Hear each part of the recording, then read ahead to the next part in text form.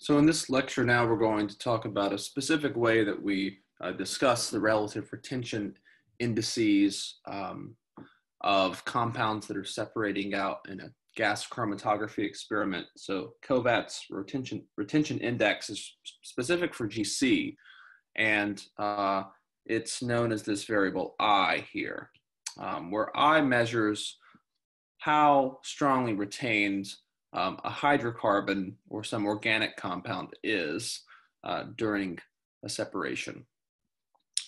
So I is going to be equal to 100 times N, where N is the number of carbons in a straight chain hydrocarbon known as an alkane alkane hydrocarbons, these have two functional groups, or I should say two types of bonds only. They are restricted to having sigma carbon-carbon bonds and sigma carbon-hydrogen bonds. And they'll take on some form where you have methyl groups at the terminus and then n number of methylenes or CH2s and then another methyl group at the other terminus. So if you increase the number of carbons, then we increase the retention index, or that compound is more strongly retained as a function of it having a higher boiling point. Recall that we said boiling point is the most important uh, factor for determining retention time um, in gas chromatography.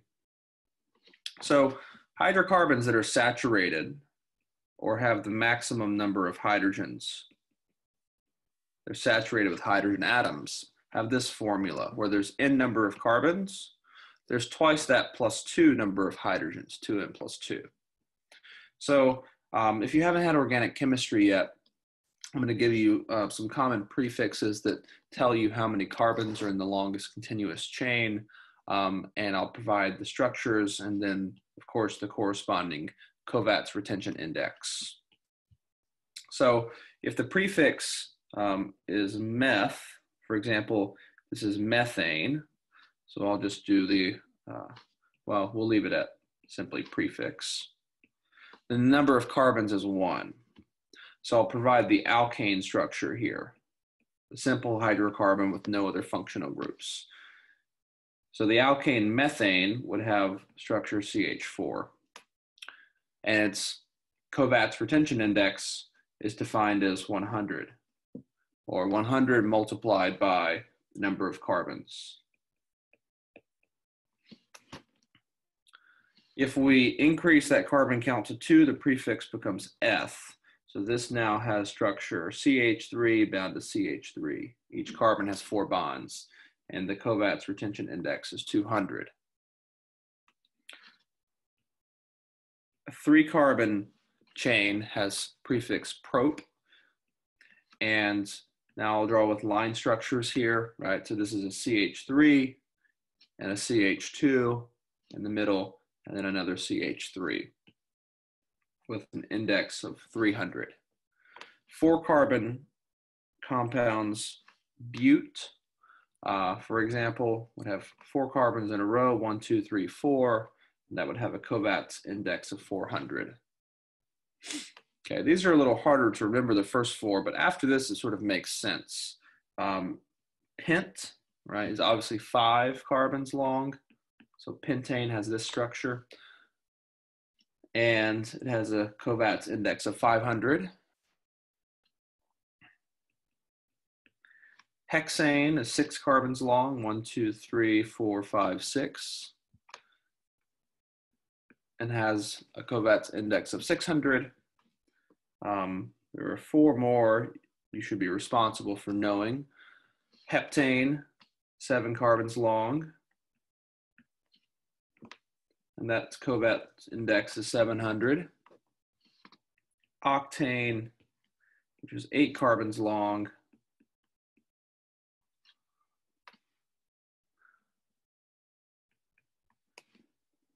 nonane, nine carbon hydrocarbon, and then finally decane, which is a 10 carbon hydrocarbon with an index of 1,000. So these Kovats index values are independent of stationary phase. For simple linear straight chain hydrocarbons. Doesn't matter what the stationary phase is, this is a defined value.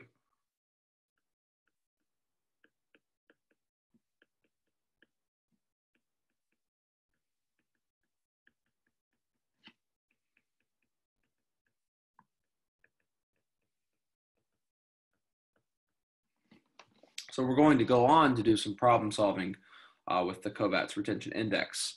So when you're doing calculations uh, in gas chromatography, trying to find the Kovats index uh, for an unknown hydrocarbon or some other organic compound, uh, you're going to use the following equation, where I, once again, is the Kovats retention index.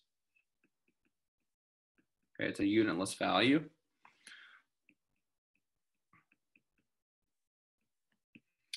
And then um, lowercase n in this formula is going to be the number of carbons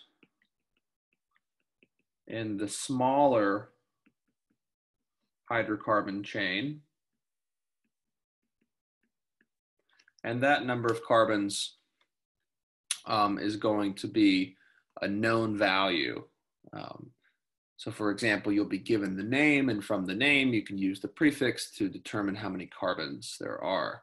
Um, we'll need the data from one other hydrocarbon as well to be able to find the uh, unknown. So capital N is the number of carbons in the larger hydrocarbon.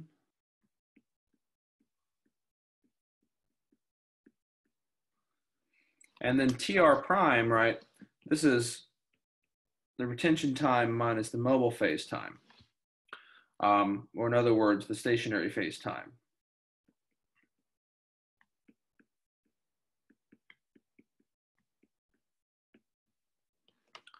So let's apply this equation with um, the data given below.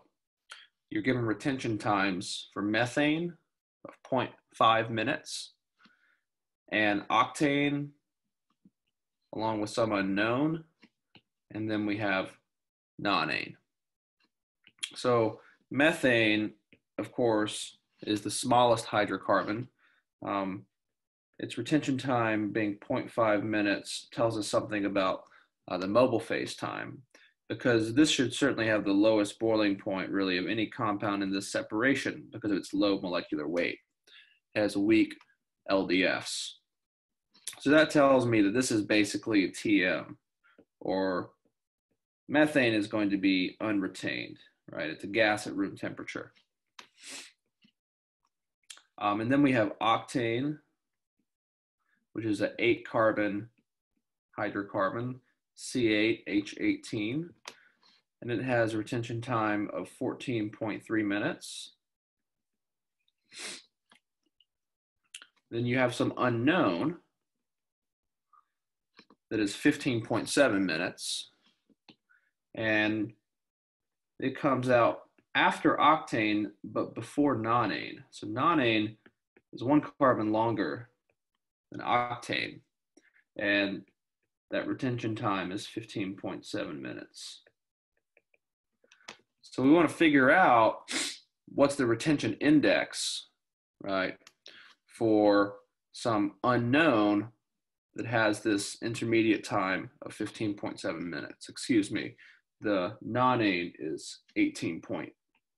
It's more strongly retained. So remember the index um, should be equal to 800 or eight times the number of carbons for straight chain alkane. And here it should be 900 for nonane. So it's likely that the unknown is going to have some I value that is between 900 and 800, since it comes at a, at a retention time greater than the eight carbon alkane, but uh, lower than the nine carbon alkane. But we don't know what the structure of this is. It's an unknown molecule.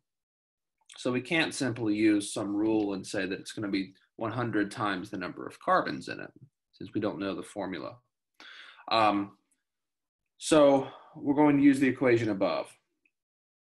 And uh, notice that all of these uh, retention times here are adjusted, uh, or they are just the time spent in the stationary phase. And therefore, we need to calculate that time for every compound first. And TR for methane, because it's so low in boiling point or it's unretained, that's the TM value. So TR prime, we need to calculate this for octane. We'll do the same thing for the unknown and for nonane. And TR prime is simply the retention time minus the mobile phase time.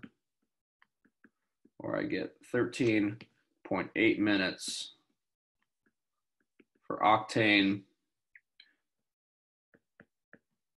15.2 for the unknown, and then 18 minutes adjusted retention time for nonane. So octane was the one that had eight carbons, so the lower number of carbons. So recall that lowercase n refers to the lighter hydro hydrocarbon. So this is TR prime for N, and then TR prime for the larger hydrocarbon nonane is capital N. Of course, this is TR prime for the unknown. So now all you have to do is plug in the formula. So the Kovats retention index is equal to 100 multiplied by the smaller number of carbons in plus the difference of larger minus smaller, capital N minus lowercase n, all multiplied by the log of the retention time adjusted for the unknown minus the log of that adjusted retention time for the smaller number of carbon hydrocarbon divided by the log of the retention time of the larger hydrocarbon that's known minus the same term for the smaller hydrocarbon, all multiplied by 100 out front.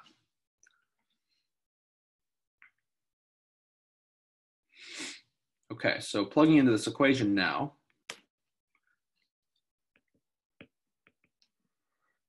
we have 100 multiplied by 8 for octane plus 9 minus 8 for nonane minus octane multiplied by the log of the unknown, which is 15.2, minus the log of the octane, all divided by log of nonane minus log of octane.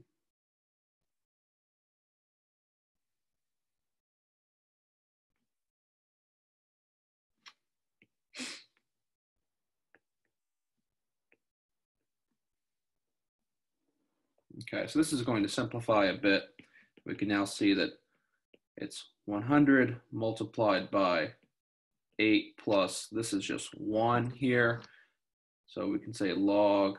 And then when you subtract two logs, you can simply rewrite it as the division of the inside. So 15.2 over 13.8 divided by log of 18 over 13.8. And this should give us our final answer.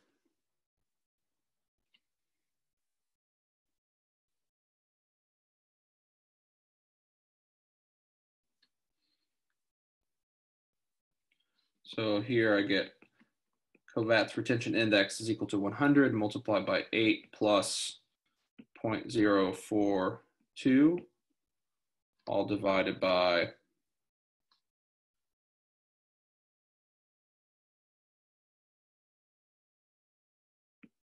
0.115. If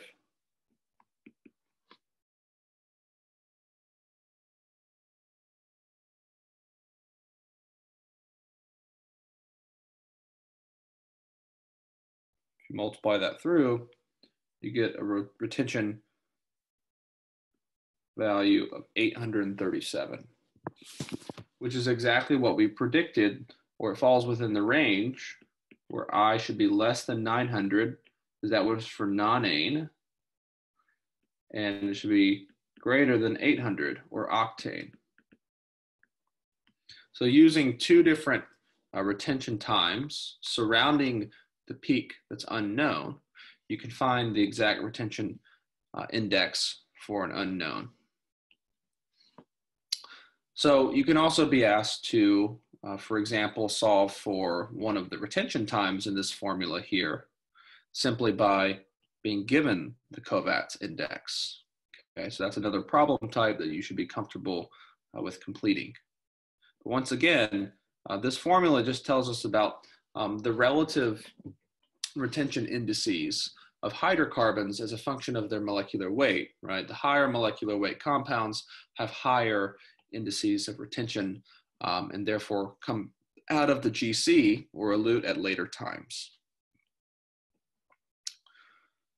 So another question that you might be asked is much more conceptual. We won't do much calculation here, um, but now you're given five different compounds, a hydrocarbon benzene, and then uh, a four carbon alcohol butanol, five carbon ketone pentanone, and then three carbon nitropropane, and then finally pyridine here. Okay. So you're given the Kovats retention indices. So these are all I values for a variety of stationary phase. Okay. So you don't have to know anything specific about any of these stationary phase values. You'd be given the table, um, but you could be asked to determine the Kovats retention index, I, for unknown compounds that are related somehow in structure to these. So let's consider um, the following compound. So this is a ketone. And let's say that we want to figure out what its retention index is with stationary phase number five, which I've labeled above. Okay, so number five is this diphenyl 0.65, dimethyl 0.35, uh, polysiloxane. And this one is related to this structure, 2-pentanone, most closely. And we have a total of one, two, three, four, five, six carbons. So the way that we would name this is starting at carbon one on the right, we would say it's two hexanone. So 2-pentanone has a retention index of 824.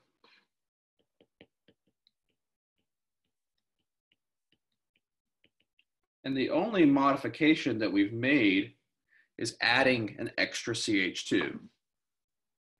We're adding a sixth carbon. So for 2-hexanone, it should be equal to 824 for the five carbon ketone plus 100 because we know that the Kovats retention index increases by 100 for every carbon that you add in the straight chain. So this should be 924 for 2 hexanol. We'll do another example. Could be asked to determine I for um, hexanol one hexanol. So OL refers to an alcohol. Hex refers to six carbons. So this is a six carbon chain. There's an OH at carbon one. One, two, three, four, five, six. And let's say this question is asking us to determine I uh, with stationary phase number three.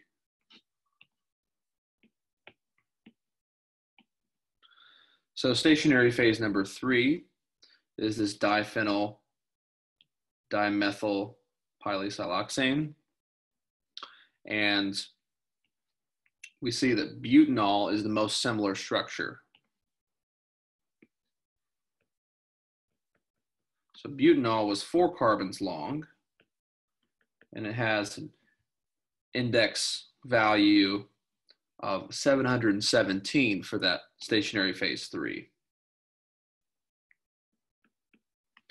So because we now have gone from this four carbon alcohol to a six carbon alcohol, that means it's going to be 717 plus 200 because we're adding two carbons to that chain. So the index would be 917 for one hexanol on stationary phase three. So for more practice with gas chromatography and Kovat's retention index, you can visit unit two of my analytical course guide at chemguides.com.